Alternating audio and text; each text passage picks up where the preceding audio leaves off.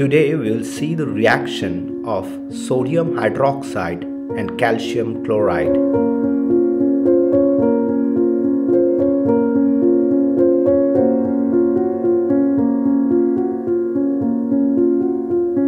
This is sodium hydroxide. It comes in the form of pellets. Solid sodium hydroxide is a hygroscopic substance. It means that it can absorb moisture from air. It can easily dissolve in water to make a homogeneous solution. This white powdery substance is calcium chloride. It can easily dissolve in water to make a homogeneous solution.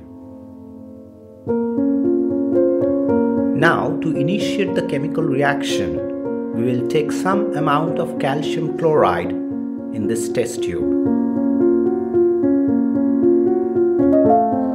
Now we will add sodium hydroxide solution into the calcium chloride solution and observe the effect.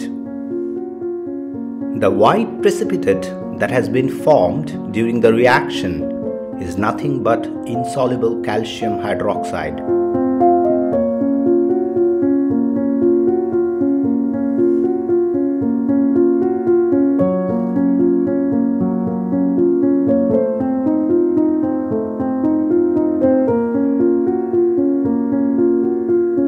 So when calcium chloride reacts with sodium hydroxide, it will produce insoluble calcium hydroxide which produce a white PPT along with sodium chloride.